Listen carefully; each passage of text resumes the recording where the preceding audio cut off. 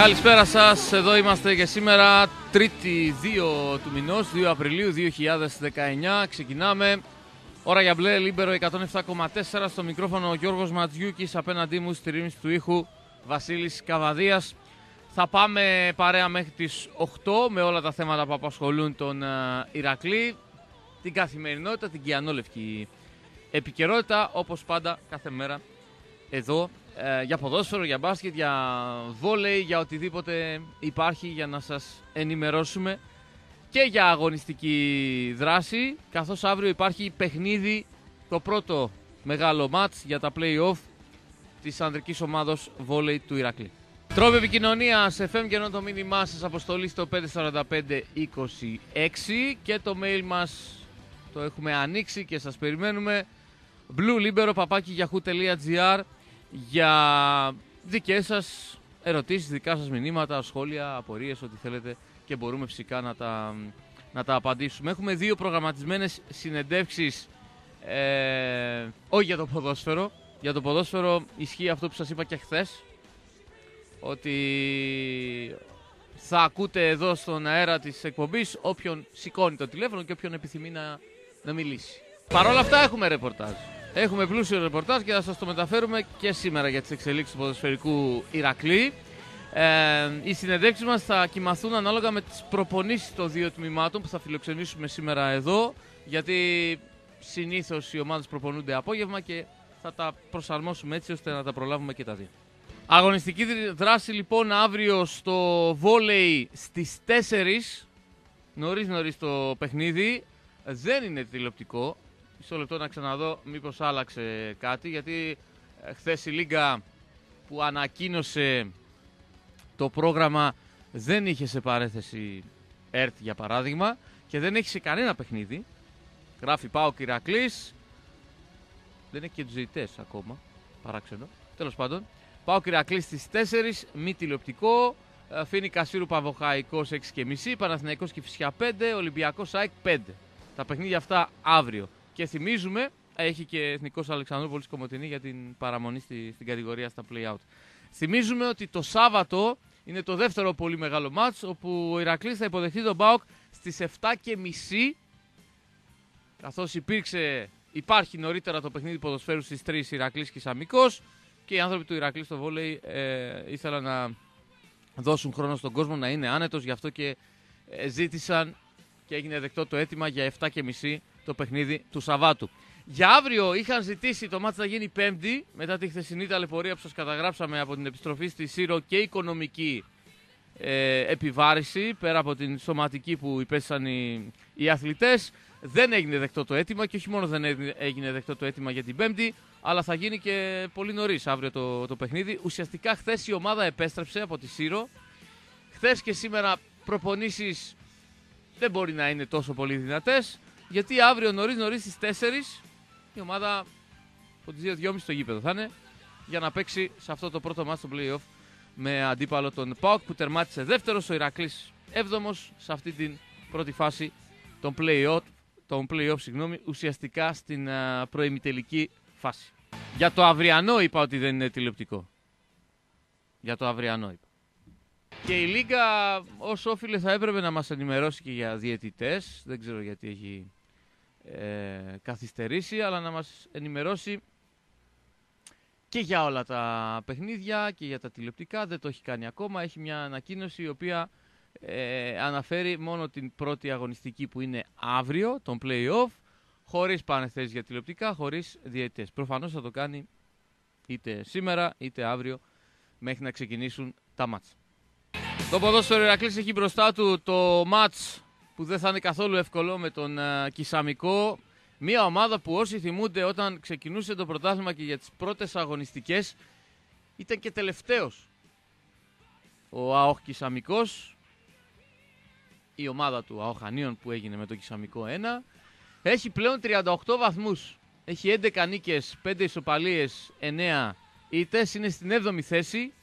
Και η αλήθεια είναι ότι από τότε που πήγε ο Αλέκος ο εκεί που φυσικά στον Ηρακλή ήταν πάρα πολλά τα λάθη του και στα τραγικά αποτελέσματα που είχε ως ομάδα τότε. Όχι ότι με τους άλλους προπονητές δεν είχε τραγικά αποτελέσματα ή οι άλλοι προπονητές δεν είχαν τραγικά λάθη. Ο Βοσνιάδης που πήρε ένα κισαμικό που ήταν στον πάτο της βαθμολογίας και τον έχει πλέον 7ο. Να, να μην είναι βέβαια άνετος για την δεκάδα. Οι διαφορές είναι πολύ μικρές. Πάρα πολύ μικρές. Ακόμα και η Κέρκυρα κινδυνεύει.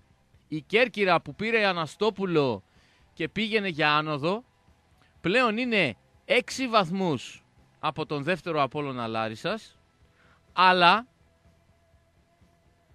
4 βαθμούς μόλις πάνω από τον 11ο Ηρακλή. Και τώρα παίζει η Κέρκυρα με τον Πλατανιά. Ο Πλατανιάς καίγεται γιατί είναι τρίτος σε ένα βαθμό πίσω από τον Απόλλωνα Λάρισας. Θεωρώ ότι αυτή τη στιγμή ο Πλατανιάς είναι η ομάδα που ίσως είναι πιο κοντά σε σχέση με τους άλλους για τη δεύτερη θέση. Ταπεινή μου άποψη. Μπορεί να κάνω και λάθος. Η Κέρκυρα λοιπόν, αν χάσει από τον Πλατανιά και ο Ηρακλής κερδίσει με το καλό το Κισαμικό, θα είναι Κέρκυρα 38, Ηρακλής 37.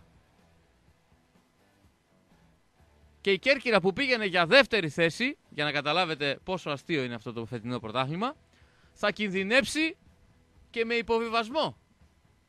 Εννοώντας υποβιβασμό την 11η θέση, όταν και αν φυσικά γίνει αναδιάρθρωση, γιατί το βλέπετε όσο περνούν οι μέρες, σιγά σιγά αλλάζει λίγο το πράγμα. Αλλάζει λίγο το πράγμα. Το χέρι μου στη φωτιά εγώ δεν θα το βάλω ποτέ για οποιαδήποτε ελληνική απόφαση. Από το 11 δεν το βάζω και δεν θα το ξαναβάλω ποτέ στη ζωή μου. Σίγουρος για την αναδιάρθρωση δεν θα είμαι ποτέ και φαντάζομαι και εσείς που, που μας ακούτε. Αλλά αν γίνει η αναδιάρθρωση και έχουμε Super League 2, πάρα πολλές ομάδες θα χορέψουν στο χορό της 10ης θέσης. Κισαμικός 38, Κερκύρα 38, Καραϊσκάκης 37, Δόξα 35, Ηρακλής 34. Βλέπετε οι αποστάσεις, δεν είναι μεγάλες. Τέσσερα βαθμουλάκια είναι. Όλα γίνονται. Και ομάδες που πηγαίναν και καλά για τη δεύτερη θέση, μην βγουν δέκατες. Σε αυτό το σημείο βέβαια πρέπει να ευχόμαστε να μην υπάρχουν διαφορές στη βαθμολογία, στο βαθμολογικό πίνακα, στα χαρτιά. Αυτό θα σημαίνει ότι ο Ηρακλής θα έχει χάσει βαθμούς στα χαρτιά από αφαιρέσεις κάθε μέρα το λέμε στην ΠαΕ μάλλον δεν το καταλαβαίνουν σήμερα είχα την ευκαιρία να μιλήσω και με τον πριν από λίγο για την ακρίβεια με τον εκπρόσωπο του Γιάννη Λουκίνα, τον κύριο Πάρη Ατλαμάζογλου έναν έμπειρο δικηγόρο ο οποίος ασχολείται πάρα πολύ με αυτά τα ζητήματα. Είναι ο δικηγόρος, αν θυμάστε, που πέρυσι πήρε 550.000 ευρώ από τον Παναθηναϊκό. Με έναν Βέμπερ, Βέμπερ, Βέμπερ, κάπως έτσι. Και είναι ένας δικηγόρος που ασχολείται αποκλειστικά με τέτοια ζητήματα, με προσφυγές ποδοσφαιριστών. Είχε εκπροσωπήσει και τον Άρη στην υπόθεση πρόπερση όταν ο Άρης ήθελε να πάρει τη θέση του Λεβαδιακού όταν ρίχναν τον Ηρακλή, αν θυμάστε. Αυτό που προκύπτει λοιπόν από το ρεπορτάζ βάσει και των λεγόμενων του, του δικηγόρου του Γιάννη Λουκίνα είναι ότι από τη στιγμή που ο Ηρακλής, η Παέρακλής αδιαφόρησε και δεν πλήρωσε τα 10 χιλιάρικα την περασμένη Παρασκευή. Μέσα στην επόμενη εβδομάδα, όχι σε αυτήν που τρέχουμε τώρα, στην επόμενη εβδομάδα θα γίνει νέο δικαστήριο. Όπου στο νέο δικαστήριο, εφόσον δικαιωθεί και πάλι η πλευρά του Γιάννη Λουκίνα, θα επιδικαστεί ολόκληρο το ποσό και θα αφαιρεθούν τρεις βαθμοί.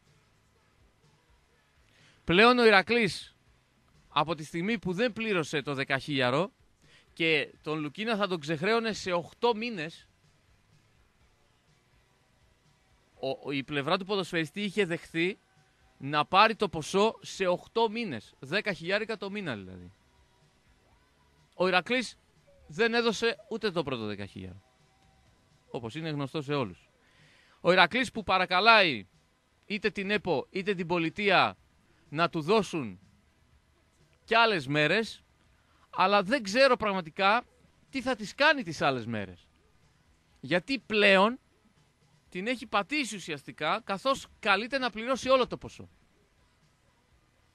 Πιο καλά δεν θα ήταν να δίνει το 10 από το να ψάχνει τώρα να βρει 80. Εάν λοιπόν την επόμενη εβδομάδα αφαιρεθούν οι τρεις βαθμοί από την Παΐρακλης, τότε θα έχει περιθώριο 5 ημερών για να πληρώσει όλο το ποσό, δηλαδή 80.000 ευρώ. Ώστε οι βαθμοί να επιστραφούν. Αν δεν πληρώσει στις 5 εκείνες μέρες, οι βαθμοί δεν θα επιστραφούν ποτέ. Και θα μιλάμε για οριστικούς μείον 3. Έγινε μια επαφή του κυρίου Καραντώνη με τον κύριο Ατλαμάζογλου, τον δικηγόρο του Λουκίνα. Και η πλευρά του κυρίου Καραντώνη ζήτησε μία παράταση δύο μηνών. Ξέρουμε ότι υπάρχει αυτή η οφειλή, αλλά δεν θέλουμε τώρα να ξεκινήσουμε να δίνουμε 10.000 το μήνα για 8 μήνες. Θέλουμε να μας δώσετε μία παράταση δύο μηνών. Είχαν την καλή διάθεση τόσο ο Λουκίνας όσο και ο δικηγόρος του κύριο Ατλαμάζογλου να δεχθούν αυτή την παράταση των δύο μηνών, ώστε να μην ασχολείται ο Ηρακλής άλλο με την περίπτωση του Λουκίνα. Και δεν είναι μόνο αυτή. Είναι άλλοι 11 από πίσω, έτσι. Απλά αυτή είναι, έχει τελεσυδικήσει και έπρεπε να πληρωθεί το πρώτο ποσό την, την Παρασκευή που μας πέρασε. Και αυτό που ζήτησε η πλευρά του παίχτη, από την πλευρά του κυρίου Καραντώνη στην προκειμένη περίπτωση, ήταν μία εγγύηση ώστε να ξέρουν οι άνθρωποι ότι δεν θα πιστολιαστούν. Το λέω πολύ απλά. Αυτή η εγγύηση δεν δόθηκε ποτέ από την Παϊράκλης. Βάσει του ρεπορτάζ και των όσων μετέφερε ο κύριος Ατλαμάζογλου. Εάν η Παϊράκλης έβρισκε τον τρόπο να δίνει, να δώσει μια εγγύηση, ένα χαρτί, κάτι, μια υπογραφή, ότι σε δύο μήνες από τώρα θα ξεκινήσουμε να πληρώνουμε τα 80 στο ποδοσφαιριστή Γιάννη Λουκίνα. Γιατί δεν μπορείς και να ζητάς παράταση αλλά και να μην δίνεις μια εγγύηση. Πώς θα δεχτεί η άλλη πλευρά; Χαζή είναι. Και όπως καταλαβαίνετε το αποτέλεσμα ήταν μια τρύπα στο νερό και πλέον περιμένουμε τα δικαστήρια. Με τον Ηρακλή να παρακαλά, Παύλα ζητά παρατάσεις και να δούμε τι θα γίνει όχι αυτήν την εβδομάδα, την επόμενη. Αυτό που μας ενδιαφέρει πρωτίστως είναι η ομάδα να κερδίσει τον Κισαμικό το Σάββατο στις 3. Ανοίγουμε παρένθεση. Σας έλεγα και νωρίτερα ότι έχουμε δύο προγραμματισμένες ε, συνεντεύξεις βάσει και των προπονήσεων των ομάδων για να, για να μπορέσουμε να τους έχουμε στο, στον αέρα και να ευχαριστήσω πάρα πολύ τον προπονητή της γυναικείας ομάδας μπάσκετ του Ρακλή πριν ξεκινήσει η προπόνηση που θα μας πει μια καλησπέρα στην ε, ώρα για μπλε. Ο κύριος Παναγιώτης Λαμπρόπουλος είναι στη γραμμή μας. Coach, καλησπέρα. καλησπέρα και καλό μήνα.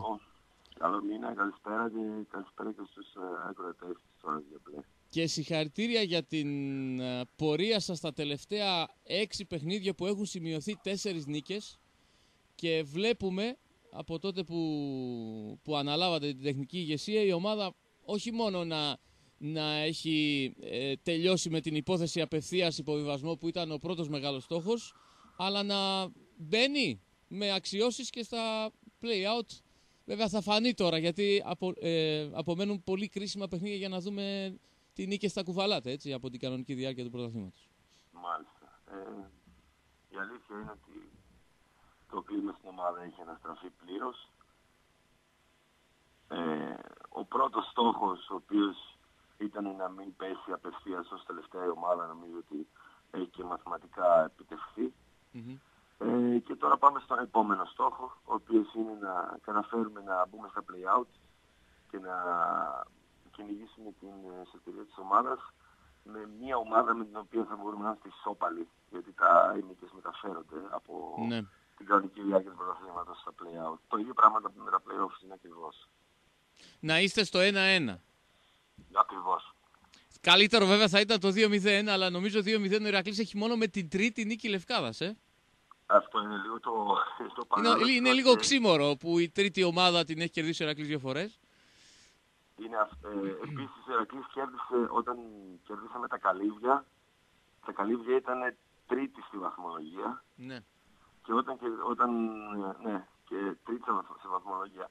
Δείχνει λίγο και το βαθμό δυσκολίας ε, του φετινού πρωταθλήματος της Α1, όπου γίνεται ένας, ένας συνοστισμός στις θέσεις από 4 έως και 10. Είναι κοντά οι ομάδες. Είναι κοντά οι ομάδες και είναι, βλέπω τώρα τη βαθμολογία αλλά και το πρόγραμμα. Ναι. Αυτή τη στιγμή είναι νομίζω τέσσερις ομάδες στο, με 27 βαθμούς. Ναι, σωστά. Και από κάτω και από πάνω είναι μία, μία, ένα βαθμό διαφορά. Δηλαδή ο τέταρτος μπορεί να παίξει ξαφνικά play out και ο, προ, ο ένατος μπορεί να, να φτάσει πιο ψηλά να βγει από τα play out. Είναι τόσο ανταγωνιστικό το πρωτάθλημα πλέον. Ο Ηρακλής που έχει να παίξει και με Πρωτεαβούλας και με Sporting και με Πανιόνιο που είναι οι τρεις ομάδες από πάνω του. Ακριβώς. Και ε, με, με την καλή ψυχολογία από τις τέσσερις αυτές νίκες που κάνατε το τελευταίο χρονικό διάστημα, πώς, ε, πώς ε, έρχεται η συνέχεια; Η συνέχεια είναι σχετικά εύκολη για μας. Ε, απ την, όταν λέω εύκολη εννοώ ότι κάνουμε ό,τι κάνουμε κάθε μέρα στο, στο γήπεδο. Δεν κοιτάμε παραπέρα από ό,τι πρέπει να κοιτάξουμε. Κοιτάμε μόνο την επόμενη προπόνηση, ούτε καν το επόμενο παιχνίδι. Κοιτάμε να βελτιωθούμε, γιατί σαν ομάδα στην ουσία είμαστε 1,5 μήνα μαζί. Ε, έχουμε βάλει στην ομάδα πολύ διακριτούς ρόλους για όλες τις κοπέλες ε, και έχουν ανταποκριθεί όλες, όλες, όλες επάξια. Πώς άλλαξε ο Ηρακλής; Και λέω άλλαξε ο Ηρακλής γιατί δυστυχώς στο πρώτο γύρο ε, δεν μπαίναμε στα περισσότερα παιχνίδια καν coach να, να δούμε το αποτέλεσμα. Ξέραμε ότι ο Ηρακλής θα χάσει και θα χάσει και με μεγάλες διαφορές. Πλέον όχι μόνο μπαίνουμε να δούμε το αποτέλεσμα αλλά βλέπουμε και νίκες. Και αυτό πώς ήρθε; Ε, πώς ήρθε; Τίποτα δεν είναι εύκολο, το γνωρίζετε πάρα πολύ καλά στο μπάσκετμπολ, δεν είναι τίποτα εύκολο, όλο είναι θέμα δουλειάς και λεπτομεριών. Ε, νομίζω ότι αυτό το οποίο είναι ο βασικός λόγος είναι αυτό που σας είπα πριν. Ε, έδωσε σε κάθε κοπέλα ένα συγκεκριμένο ρόλο ε, με βάση τις δυνατότητες κάθε μίας. Και νομίζω ότι κάθε μία από, από αυτές ε, αρπάξαν αυτό το, το στόχο, τον ε, βραχυπρόθεσμο στόχο που είχαν μπροστά τους και τον έχουν φέρει σε πέρα και είμαι πάρα πάρα πολύ ευχαριστημένος από αυτές. Έχουν ξεπεράσει δηλαδή το 100%, το 100% των ε, δυνατοτήτων και πλέον παίζουν με, και με όρεξη και με πάθος και με ένταση. Οπότε έτσι, έτσι βγαίνει το αποτέλεσμα αυτό. Αν εξαιρέσουμε τις Αμερικανίδες, τα υπόλοιπα κορίτσια σχεδόν όλα ε, τα γνωρίζετε από πέρυσι γιατί ως γνωστόν είστε ο προπονητής της Ανόδου. Μαζί πανηγυρίσατε την επιστροφή του Ηρακλή μετά από 10 χρόνια στα μεγάλα σαλόνια της Α1 στο μπάσκετ γυναικών. Ε, έχει παίξει και αυτό το ρόλο του. Ότι ξέρει ο προπονητής της αθλήτριες και οι αθλήτριες στον προπονητή. Ε, σίγουρα, σίγουρα παίζει ρόλο.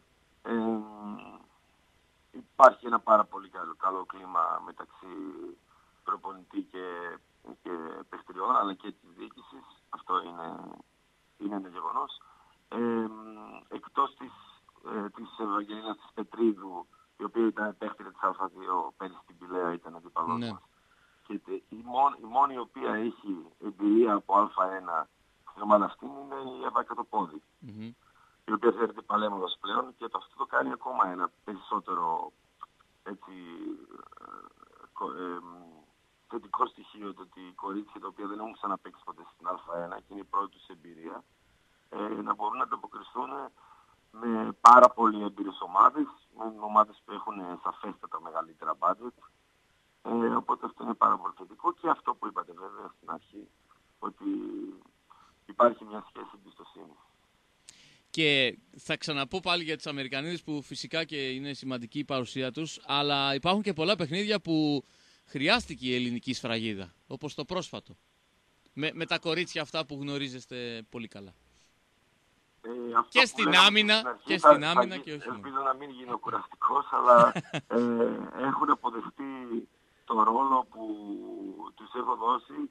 Ε, έχουμε Ελληνίδες παίκτρες οι οποίες ε, είναι πολύ κοντύτερες στον, άλλων Αμερικανίδων παιχτριών που πρέπει να μαρκάρουν και ε, όσοι έχουν έρθει στο γήπεδο βλέπουν ότι δεν υπάρχει κανένα μισμάτς απολύτως.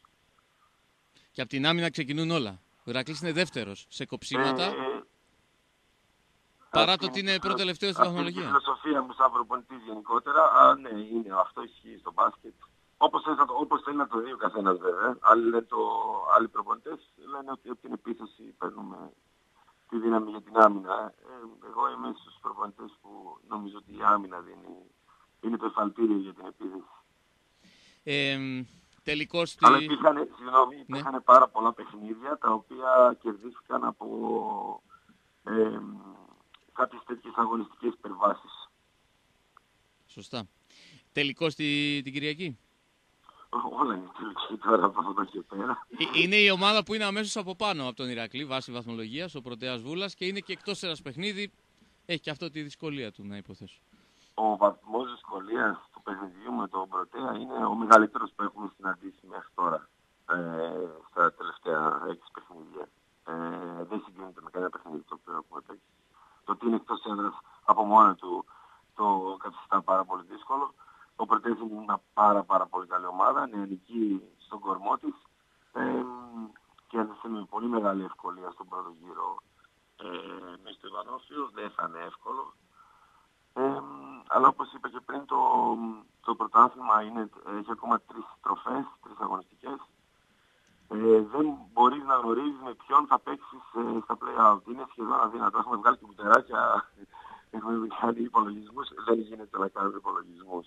Απλά προσπαθούμε κάθε μέρα, κοιτάμε προπόνηση προπόνηση και όταν πάμε στον αγώνα βλέπουμε τι έχουμε κάνει για τον αγώνα αυτόν. Έτσι πηγαίνουμε, έτσι πορευόμαστε. Και μακάρι να συνεχίσετε έτσι, να μας φέρετε ακόμα μία νίκη. Συγχαρητήρια και πάλι για την ε, πορεία των τελευταίων ημερών με τις τέσσερις νίκες στα έξι παιχνίδια και να συνεχίσετε ανάλογα. Ευχαριστώ πολύ, coach. Ευχαριστώ πολύ, Γιώργο. Να είσαι καλά. Καλή συνέχεια. Καλό βράδυ. Αυτά λοιπόν από τον προπονητή της γυναικείας ομάδα μπάσκετ του Ηρακλή και τον ευχαριστώ γιατί ακολουθεί προπόνηση. Οπότε έπρεπε τώρα να τον φιλοξενήσουμε, τον κύριο Παναγιώτη ε, Λαμπρόπουλο, που με την παρουσία του, πιο καλά με την επιστροφή του στην ομάδα, ήρθαν αυτές οι, οι νίκες. Ο Ηρακλής απέφυγε οριστικά τον απευθείας υποβιβασμό, θα παίξει σίγουρα στα play-out και πώς θα φέρνει έτσι το πρόγραμμα, όπως έλεγα νωρίτερα, και με Πρωτέα Βούλα τώρα την Κυριακή και με Sporting και με Πανιόνιο, είναι οι τρεις ομάδες ακριβώς από πάνω. Ε, πρέπει να κερδίσει, πρέπει.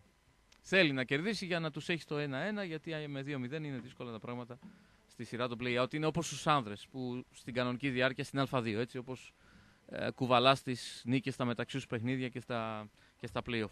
Λοιπόν, πάμε σε απαραίτητο διαφημιστικό διάλειμμα. FM και το μήνυμά σας αποστολή στο 54526 και bluelibero.yahoo.gr για τα μηνύματά σας. Θα επανέλθουμε σε λίγο και με άλλη συνέντευξη για το βόλιο αυτή τη φορά εν ώψη και του αυριανού αγώνα με τον ΠΑΟΚ για τα play-off. Για τον α, αντίπαλο που λέγεται ΠΑΟΚ. Ε, εντάξει, γνωρίζουμε την, την ποιότητα του ΠΑΟΚ. Εντάξει, δεν το αφήσουμε αυτό.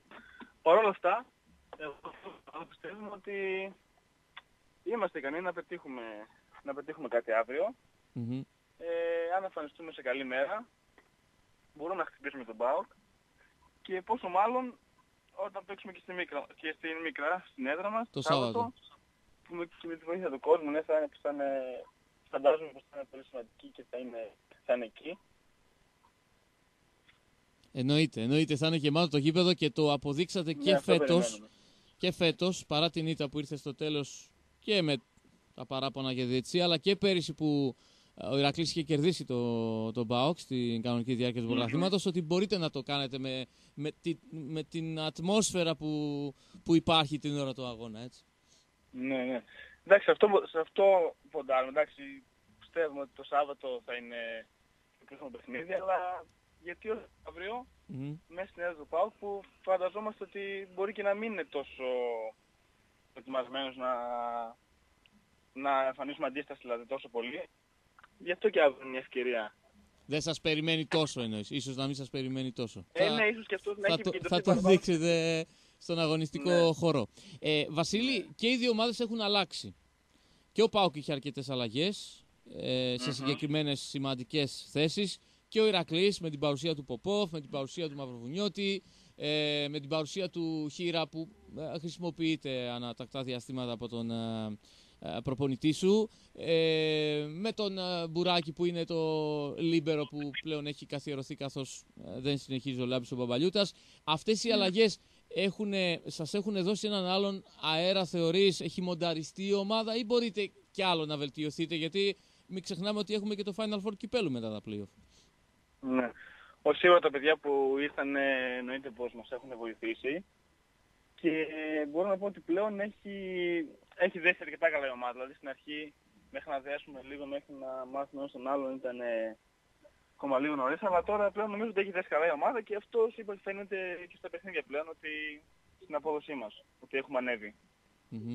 Ε, σε ποιο τομέα ή σε όλους τους τομείς; Σε όλους τους τομείς, όλους και αγωνιστικά και ψυχολογικά, σχέση μεταξύ μας. Έχετε δεθεί λες ακόμα ναι, περισσότερο έτσι. Ναι, ναι, ναι. Ε, αυτός είναι ο μήνας σου ή όχι; Πέρυσι ήταν, γι' αυτό το ρωτάω. Ναι. Και με αφορμή και την καλή σου παρουσία στη, στη Σύρο, μήπως ξαναδούμε το, τον Βασίλη που είδαμε και πέρυσι τον Απρίλιο; Ναι.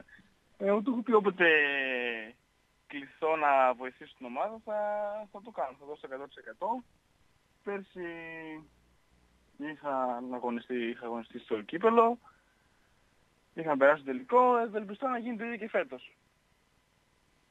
Και δεν είναι πολύ μακριά πλέον, αλλά να υποθέσω ότι το έχετε κάνει λίγο στην άκρη το μάτς με τον Φίνικα, έτσι, για, το, για τον ημιτελικό. Ε, ναι, εντάξει, ακόμα έχουμε το μυαλό μας στο πρωτάθλημα, στον Μπάουκ. Και μετά, εφόσον ε, τελειώσει το πρωτάθλημα θα επικεντρωθούμε στο κύπελο. Μετά όλα για όλα, γιατί είναι ένα μάτς και όλα, και όλα γίνονται. Ναι, ναι, ναι, και όλα γίνονται, εννοείται. Θα ήθελα και ένα σχόλιο ε, για τον αδερφός σου, τον Δημήτρη, που έκανε απίθανα πράγματα πρόσφατα. Ε, όχι ότι δεν έκανε πέρυσι, αλλά και φέτος στο Πανελλήνιο Πρωτάθλημα Εφήβων 46 πόντους στο ένα μάτς, 34 στο άλλο, 32 στο άλλο. Ε, τρομερά πράγματα από τον uh, Δημήτρη Ντομούχλια που φέτος είχατε την ευλογία ως αδέρφια να είστε μαζί παίκτες, συμπαίκτες στον Ηρακλή. Δυστυχώς θα το χάσουμε και εσύ και εγώ και όλοι μας. Uh, πόσο μάλλον εσύ που είναι αδερφός σου. Για, ε, ναι, για τέσσερα χρονάκια δεν είναι πολλά που θα ναι, πάει ναι. Στη, στη Χαβάη. Αλλά επειδή παρακολούθησες και την προσπάθεια της εφηβικής ομάδα και του αδερφού σου, θα ήθελα και ένα δικό σου σχόλιο πώς το έζησες και το Final Four του, ναι. του εφηβικού. Ε, το αξίζουν πολλά παιδιά για την δεύτερη θέση. Ε, εντάξει, αλλά σε αυτό εννοείται πως βοηθάνε όλοι, όλα τα παιδιά, δεν είναι ο Δημήτρης μόνος του, όλη η ομάδα, πώς παίζουν ε, και από ό,τι φαίνεται έχουν μέλλον, έχουν ακόμα να δώσουν πολλά. Και η οικογένεια Μούχλια έχει μέλλον γιατί μαθαίνω βγαίνει κι άλλος από πίσω. Ναι, πιο μικρός είναι, αλλά δεν και αυτός σιγά σιγά. Έρχεται έτσι. Μας ακολουθεί, ναι. Μα, γιατί όχι και στον Ηράκλειο μην, τον δούμε. Τώρα είναι στο, στο Σουφλί; Ναι, ναι, εκεί είναι. είναι Ακόμα είναι πάει πέμπτη δημοτικό. Α, είναι τόσο μικρός. Είναι, είναι, ναι. Μα, μαθαίνω καλά πράγματα γι' αυτό. Γι αυτό. Δεν, δεν αποκλείεται να, να, να έχουμε το 3 στα 3. Μακάρι με τον αδερφό σου να, από εδώ και πέρα να πανηγυρίσετε νίκες και χαρές και, και όσο πάει, όσο πιο μακριά γίνεται με τον, με τον Ηρακλή, το εύχομαι ολόψυχα, μμ Βασίλη. Ευχαριστούμε πολύ. Να είσαι καλά, Γιώργο. Καλή συνέχεια, καλή ξεκούραση. Σε ευχαριστώ πολύ. Επίσης, επίσης, καλή συνέχεια. Να είσαι καλά. Αυτά λοιπόν από τον ε, Βασίλη Μούχλια που πέρυσι σε εκείνο το συγκλονιστικό ημιτελικό με τον Παναθηναϊκό όσοι τον θυμούνται ο Ηρακλής έχανε 2-0 και το γύρισε 3-2 ε, και είχαμε χάσει τη φωνή μας περιγράφοντας το, περιγράφοντας το μάτς για λογαριασμό του Λίμπερο 107,4 τον είχα χαρακτηρίσει Kill Bill γιατί πραγματικά ήταν, ήταν Kill Bill Γι' αυτό και το ρώτησα, μήπως ο Απρίλιος είναι ο μήνας του. Ήταν πολύ καλός στη Σύρο, που πήρε χρόνο συμμετοχής από τον ε, Γιάννη Ορφανό. Ε, γιατί όχι να μην ξαναβοηθήσει σε αυτόν τον μήνα όπου κρίνονται όλα. Έτσι, στο, να, στο βόλεϊ συνήθως πολλά κρίνονται τον Απρίλιο και τον Μάιο βέβαια όταν παίζεις τελικούς. Αλλά τον Απρίλιο γιατί είναι και το Final Four του, του Κυπέλου και ο Ηρακλής έχει μπροστά του δύο ή τρία παιχνίδια με τον uh, ΠΑΟΚ και ένα ή δύο παιχνίδια στο, στο κύπελο. 19 και 20 του μηνός στην uh, Ιερά Πέτρα και ήδη από την ώρα της κλήρωσης, από την ώρα μάλλον του ορισμού του κυπέλου στη συγκεκριμένη ε, πόλη της Κρήτης. Πολλά Ηρακλάκια ετοιμάζονται και από το Ρέθυμνο και από τα Χανιά και από το Ηράκλειο και είναι έτοιμοι για να δώσουν ε, το, το παρόν στο, στο Final Four. Θα έρθει η ώρα του, θα είμαστε και εμείς πρώτα Θεός εκεί για να καλύψουμε την ε, προσπάθεια του, του Ηρακλή. Ε, προέχουν τα παιχνίδια αυτά. Επαναλαμβάνω, αύριο στις 4 πάω Ηρακλής, το πρώτο μάτς των uh, play-off της προημιτελικής φάσης της Volley League Την καλησπέρα μου στο Μάνο που γράφει η Ιερά Πέτρα είναι μπλε και το κύπελο είναι μπλε. Από το στόμα σου, Μάνο, από το στόμα σου. Ε, να απαντήσω και στον καλό φίλο τον Αντώνη, το είπαμε και χθες, θα το πω και σήμερα, ότι τα διαρκείας δεν ισχύουν για το βολέι και θα ξαναπώ το τι ακριβώς ισχύει για τον αγώνα του Σαββάτου. Χθες σας δώσαμε όλο το ρεπορτάζ εν του αγώνα του Σαββάτου, αλλά με αφορμή και το μήνυμα του φίλου του Αντώνη θα το επαναλάβω για όσους δεν ακούσατε. Λοιπόν, δεν ισχύουν τα διαρκείας. Θα κυκλοφορήσουν χίλια εισιτήρια για το παιχνίδι του Σαββάτου, μιλάω έτσι, 7.30 στη Μίκρα, Ηρακλής Πάοκ. Τα 800 των 10 ευρώ διατίθενται από αύριο Τετάρτη από το Κατσάνιο από τις 10 το πρωί έως τις 10 το βράδυ. Αποκλειστικά από το Κατσάνιο και αποκλειστικά από την αυτόνομη θύρα 10 θα διατίθονται τα 5 ευρώ που είναι 200 εισιτήρια. 800 εισιτήρια των 10 ευρώ λοιπόν από το Κατσάνιο από αύριο και 200 εισιτήρια των 5 ευρώ από την αυτόνομη θύρα 10 για το μάτς του, του Σαββάτου. Δεν το συζητάμε ότι ο Ηρακλής έχει ανάγκη το γεμάτο γήπεδο, έχει ανάγκη αυτά τα κομμένα χίλια εισιτήρια και, και για την ηθική στήριξη που είναι δεδομένη ότι θα έχει η ομάδα σε αυτό το μεγάλο παιχνίδι και για την οικονομική στήριξη πρόσφατα ξοδεύτηκαν μπαμ μπαμ σε δύο μέρες 7 χιλιάρικα για το ταξίδι στη Σύρο καθώς η ομάδα αναγκάστηκε λόγω του απαγορευτικού να μείνει ακόμα μία μέρα στο νησί. Και με αφορμή το μήνυμα του φίλου του Γιάννη να ξαναπώ ότι το Ηρακλής Πάοκ είναι 7 και μισή στη Μίκρα. Από χθες είναι γνωστή η ώρα. Ο Ηρακλής ζήτησε να πάει ε, λίγο πιο μετά, καθώς είναι το παιχνίδι του ποδοσφαίρου νωρίτερα στο, στο Καφτατζόγλιο με τον Κισαμικό, οπότε να έχει άνεση. Ε, Γιάννη μου, ε, αυτό μου ε, με ενημέρωσαν από χθες από τον Ηρακλή, ότι το μάτι είναι 7.30. Δεν έχει ανακοινωθεί βέβαια από τη Λίγκα, αλλά η ενημέρωση του Ηρακλή είναι αυτή. 4 αύριο, 7.30 το, το Σάββατο. Και καταλαβαίνετε ότι αν ε, αύριο ο Ηρακλής καταφέρει και πάρει νίκη στην έδρα του ΠΑΟΚ, το Σάββατο η λέξη καρφίτσα θα είναι άγνωστη. Δεν λέμε μπίλι μου δεν θα πέφτει ούτε καρφίτσα. Θα ψάχνουμε την καρφίτσα να βρούμε το Σάββατο. Όπως και να έχει πάντως έτσι και να μην τα καταφέρει η ομάδα αύριο, πάλι η καρφίτσα δεν θα πέφτει, πάλι θα την ψάχνουμε γιατί είναι είναι play-off, είναι πολύ μεγάλο μάτς και σίγουρα ο κόσμος θέλει να γεμίσει το γήπεδο να οδηγήσει την ομάδα σε μια σπουδαία νίκη. Έχουμε λοιπόν βάσει και αυτού που ανακοίνωσε η Λίγκα του Ποδοσφαίρου, η Football League, ε, το πρόγραμμα από τώρα μέχρι το τέλος της σεζόν. Δεν είναι πολλά, πέντε είναι. Σάββατο 3 Ηρακλής Κισαμικός R3. Σάββατο 13 Απριλίου στις 4 Εργοτέλης Ηρακλής. Τετάρτη 17 Απριλίου Ηρακλής Τρίκαλα. Κυριακή 21 Απριλίου Ηρακλής Βόλος. Μακάρι σε εκείνο το παιχνίδι να μπει μέσα η ανδρική ομάδα βόλεϊ του Ηρακλή κρατούντας το κύπελο. Και το λέω αυτό γιατί μια μέρα πριν, Σάββατο 20 Απριλίου, είναι το τελικός στην Ιεράπετρα. Ωραίο δεν θα ήταν. Το έκανα εικόνα τώρα στο μυαλό μου και το εξωτερήκευσα, το μοιράστηκα μαζί σας. Ε, και Κυριακή 5 Μαΐου, τελευταία αγωνιστική στα περιβόλα, περιβόλια, συγγνώμη, Πλατανιάς Ηρακλής. Κισαμικός, Εργοτέλης, Τρίκαλα, Βόλος και Πλατανιάς είναι οι αντίπαλοι. Ο Κισαμικός ενδιαφέρεται, ο Εργοτέλης ενδιαφέρεται, τα Τρίκαλα ενδιαφέρονται, ο Πλατανιάς θα καίγεται τελευταία αγωνιστική, Ο μόνος αδιάφορος βαθμολογικά από τους αντιπάλους του Ηρακλή είναι ο Βόλος που θα έρθει στο Καφτατζόγλιο την πρώτη τελευταία αγωνιστική γιατί έχει ανέβει Αυτά βάσει προγράμματος. Λοιπόν, κλείνουμε.